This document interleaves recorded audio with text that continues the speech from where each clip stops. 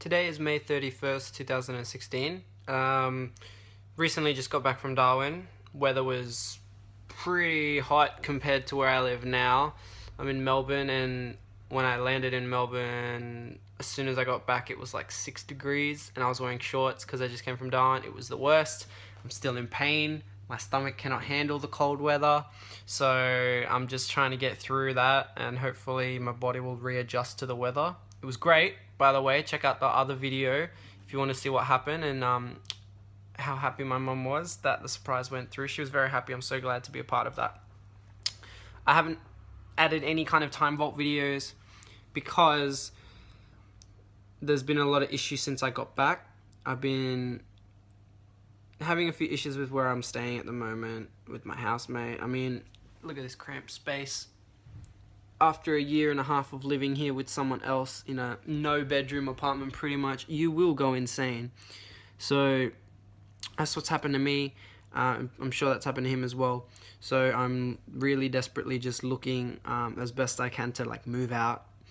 It's gonna be hard because see the loan that I took out most of that went towards you know buying a laptop helping out my mum paying for some other rent and things like that so I've only got a bit of that loan left. Not as much as I hoped I wish I had. I wish I had more of that loan left. Um, so I'm pretty disappointed there. But in terms of, I guess, saving and working, um, I'm working towards doing that. Hopefully getting a promotion at work, maybe even a pay rise, I don't know.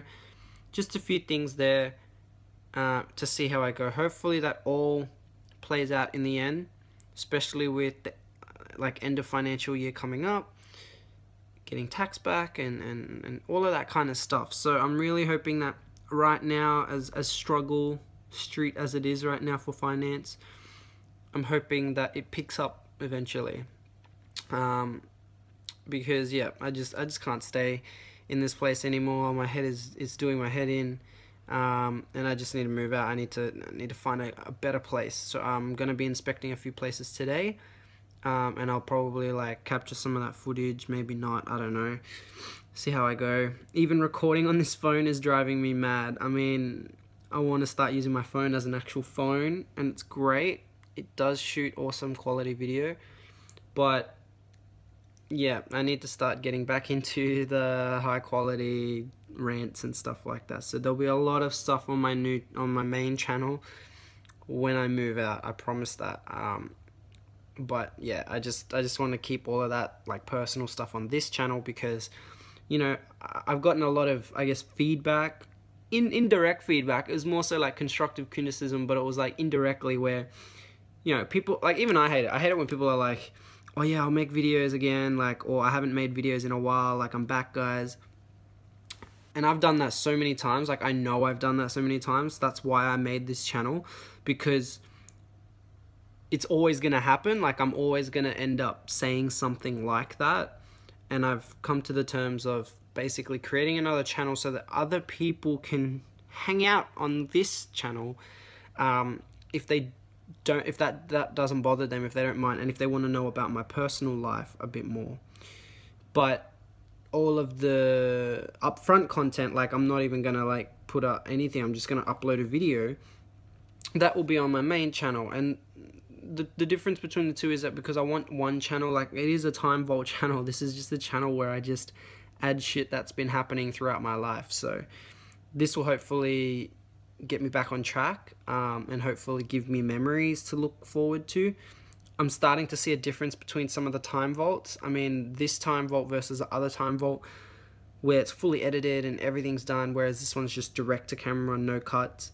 I think there's going to be two different time vaults. So it's still going to be on this channel, but it's going to be divided. So you'll be able to tell, you know, through, I guess, a thumbnail or whatever, whether it's going to be just a direct to camera speech or if it's going to be a full edited thing. And I'm still trying to figure out my editing style as well. Like, I mean, I have been off the game for such a long time. I have not edited or made any videos that have been fully edited so I've been picking inspirations from different YouTubers, trying to incorporate some of their methods into my editing, and I'm seeing how it works for now. If it doesn't work, I'm going to cut it out. I'm going to try a different method until I find something that I'm known for in editing.